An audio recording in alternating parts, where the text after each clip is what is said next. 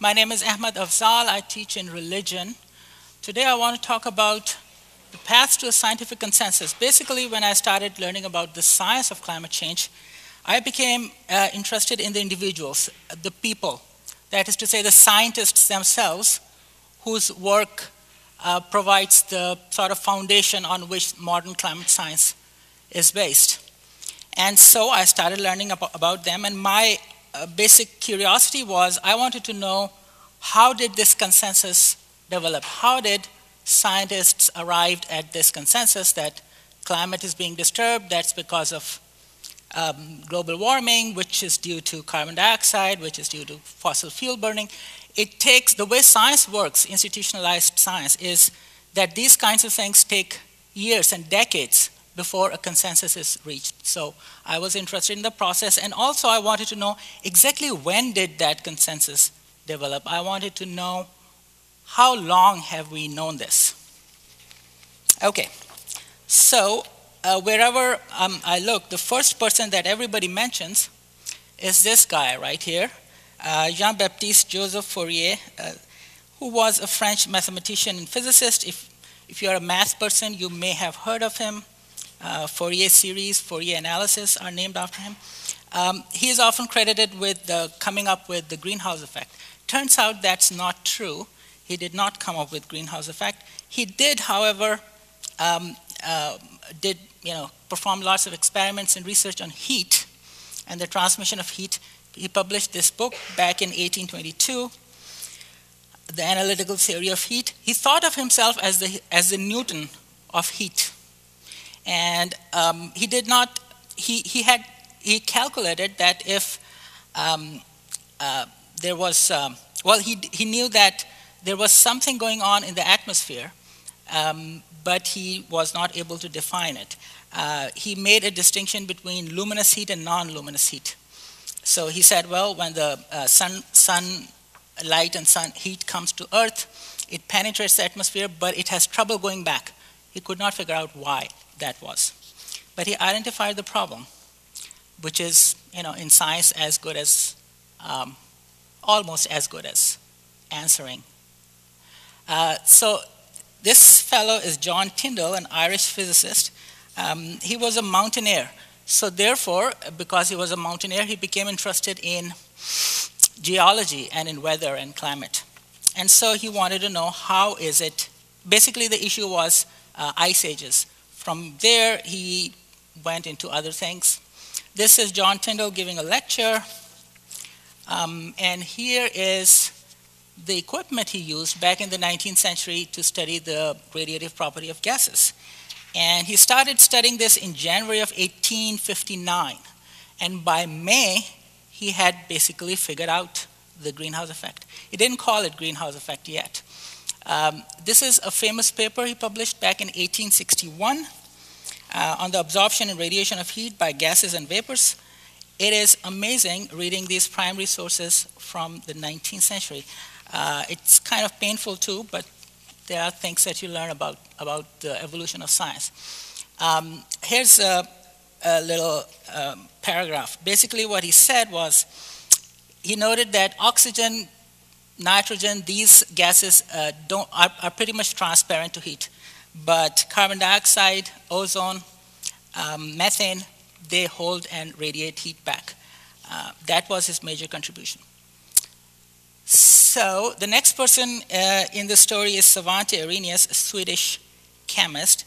He was also interested in ice ages, and so he uh, basically did his own calculations. He was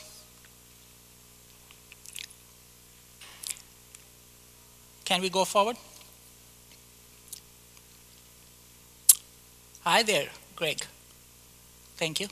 So this is a famous uh, paper um, uh, from 1896, he calculated that if you increase carbon dioxide in the atmosphere, temperature rises, and if you increase, uh, basically said, if you increase carbon dioxide, uh, uh, if you double it, the temperature would rise by 4 degrees Fahrenheit, which turns out to be very close, although he had very primitive methods. Um, in 1906, he published this book, um, translated into English as Worlds in the Making, and there he says a couple of interesting things. He knew that temp uh, temperatures would rise by the burning of uh, coal, and he knew that the amount of coal that we were burning was increasing every year. But he thought that that global warming would be a great thing. Uh, so he said, first of all, it will prevent a new ice age. He said, should we worry about another ice age? He said, no. The enormous co combustion of coal by our industrial establishments suffices to increase the percentage of carbon dioxide in the air to a perceptible, perceptible degree. That would be a good thing. This would uh, prevent an ice age. He also said that warming would be great because um, we may hope to enjoy ages with more equable and better climate, especially as regards the colder regions of the Earth. He lived in Sweden, so he thought global warming would be a great idea. Um, around the same time, the whole uh, evolution of climate science kind of suffered at that time, suffered a little setback because of this guy, um, Knut Angstrom, another uh, Swedish scientist uh, who published a paper basically disproving uh, Arrhenius's insights. And um, he did some experiments, uh, and his experiments basically showed him that there was an overlap in the absorption bands of carbon dioxide and water vapors. So water vapor basically uh, absorbs the, uh, all the heat, and if you add carbon dioxide to the atmosphere, that would not cause any further increase in temperature. Um, for his part, Arrhenius published a rebuttal. Nobody read the rebuttal, or at least they didn't pay attention to it. And um, basically, what Angstrom has said became accepted, widely accepted, uh, for at least 30 years until this other fellow, Edward Olson Hulburt, figured out that actually uh, Arrhenius was right, Angstrom was wrong, and that was in 1931. He published a paper saying, um, yes, by increasing carbon dioxide, you will increase temperature. Unfortunately, um, Hulburt published his paper in a journal called Physical Review, and climate scientists, people interested in weather, did not read that journal, so he was ignored as well. So the story kind of get, gets stuck here. There is one interesting thing. Uh, Hulburt did talk to the um, popular press, apparently. This is the first mention I've been able to find of any mention of global warming, climate change because of uh, carbon dioxide um, in the popular media, media, and this comes from uh, July 1932 issue of Modern Mechanix, 1932, uh, and this was already being said there. Okay, next person here is uh, Guy Stewart, who was a British engineer interested in steam technology, but he, as a hobby, he was interested in weather and climate. So uh, in his day, old folks were saying that winters are not as bad now as they used to be in their childhood. And so Stewart wanted to know, uh, uh, Callendar wanted to know if that was really true. So he collected as much uh, temperature data as he could, and he actually showed that he, in this particular paper from 1938, that yes, there is a small increase in temperature since 1880s. From 1880 to 1930, there was a small increase in temperature again, this was, uh, you know, scientists did pay attention to Callendar, but there were a couple of things. First, um, Callendar wanted to revive Arrhenius' theory that it's because of carbon dioxide, but the numbers that he had about carbon dioxide, uh, other scientists didn't believe them. They thought this, these were not reliable. Uh, there was also this belief that carbon dioxide cannot possibly affect the climate because most of carbon dioxide that we produce goes into the oceans. And somebody had to uh, prove that that's not true un until um, the next step could be taken. This is uh, Gilbert Plass, an American physicist. Uh, he was recruited by the US military to work uh, for the development of weapon systems in 1950s. But because he had access to all kinds of satellite data and computers, um, and his hobby, again, his personal interest was to figure out the effect of increasing carbon dioxide on the surface temperature. So he used all those resources uh, to figure that out. And by even early 50s, he had figured that much out. This particular uh, uh little news story is from Time magazine, May 1953, uh, titled Invisible Blanket. And this says, uh, John Hopkins physicist Gilbert Plass says, da da da, it's in, at its present rate of increase, the CO2 in the atmosphere will raise the Earth's average temperature 1.5 degrees Fahrenheit every 100 years. This is 1953. Here's another news story that I found. This is from Popular Mechanics, August 1953. Again, Gilbert Plass was interviewed, and he says that basically he's saying that carbon, that oceans are not going to save us. He says if most of man's industrial growth were over a period of several thousand years, instead of being crowded within the last century, oceans would have absorbed most of the excess carbon dioxide. But this is not going to happen because we are burning uh, fossil fuels at a very high rate. So oceans uh, can't absorb all that uh, CO2. Uh, finally, he, 1956, uh, that's a groundbreaking paper by Gilbert Plass, and his major contribution was that he finally resolved the problem that Angstrom had created at the turn of the century by showing that the absorption bands of carbon dioxide and water vapor do not um, overlap at all. And he did that with a, with a very high degree of specificity. Um, and he also uh, basically uh, showed that oceans um, will absorb, uh, oceans, uh, the surface layers of oceans do absorb carbon dioxide, but um, that carbon dioxide eventually gets released. Actually, that the, the ocean part um, was not uh, Plass's achievement. That was achievement of two other people. You're going to see them next. Um, Roger Revelle and Hans. Uh, they were working on this problem of how much carbon dioxide go in, goes into the atmosphere, how much into the oceans. And they published a paper next year. This is right after um, paper, uh, 1957. That's also a very landmark, uh, you know, groundbreaking paper. And that's what they said, they, uh, that surface layers of ocean absorb carbon dioxide, but this is not, um, there's not enough time for all this, this, carbon dioxide to sink into the bottom. So most of it is going to get um, released back into the atmosphere. The next problem, well, before I go to the next problem, here's one little quote. This is very widely quoted, so I thought I'll include it here. This is from Roger Revelle and Hans Suess's 1957 paper. Um, Thus, human beings are now carrying out a large scale geophysical experiment. Within a few centuries, we are returning to the atmosphere and ocean the concentrated organic carbon stored in sedimentary rocks over hundreds of millions of years. So, fossil fuels contain carbon that was stored uh, into deep down into Earth over 400 million years, and we are burning that within a century or two. So, that is a very unprecedented thing. It's an experiment that we are doing unwittingly, and inadvertently, and that's going to result in some dramatic things. Uh, this is a story in Time magazine, uh, May 28, 1956.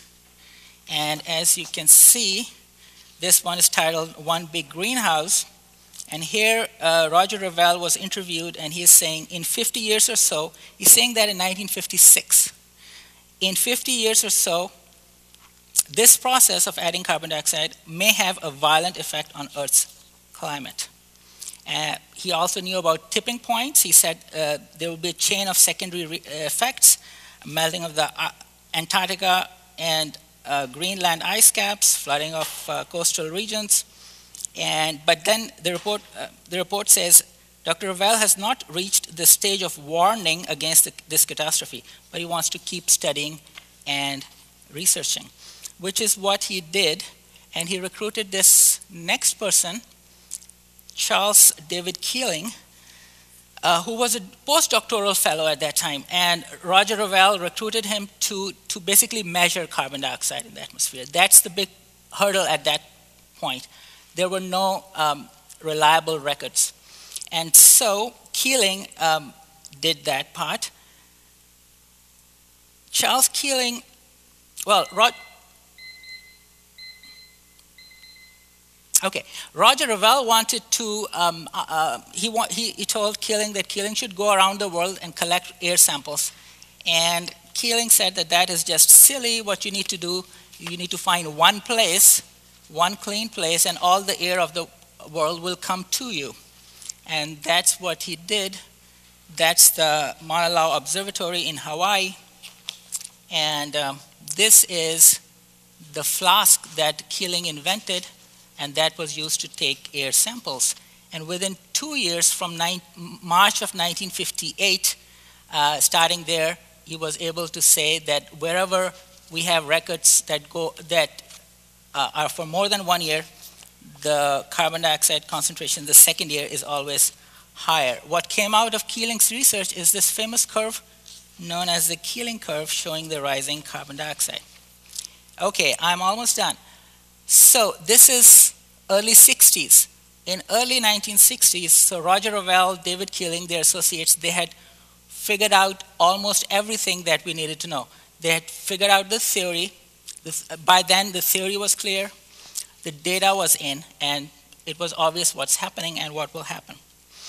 This is a report, um, report of the Environmental Pollution Panel of the President's Science Advisory Committee, prepared in 1965. Uh, and this included, the people who wrote this report included a group of scientists who were led by Roger Revelle and David Keeling, uh, Richard David Keeling. And this is what it says.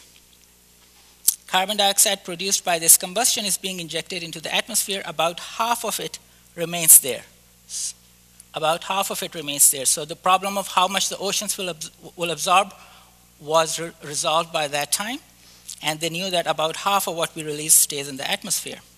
By the year 2000, the increase in atmospheric CO2 will be close to 25%. This may be sufficient to produce measurable and perhaps marked changes in climate and will almost certainly cause significant changes in the temperature and other properties of the stratosphere.